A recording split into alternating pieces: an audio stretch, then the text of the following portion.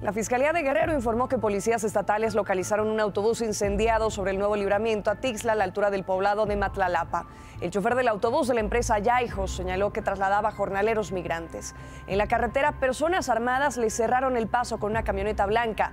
Los amenazaron, les quitaron sus pertenencias y luego incendiaron el autobús. Una persona resultó lesionada. Policías estatales realizaron patrullajes en la zona para localizar a los agresores. Imagen Noticias con Ciro Gómez Leiva, lunes a viernes 10.30 pm. Participa en Imagen Televisión.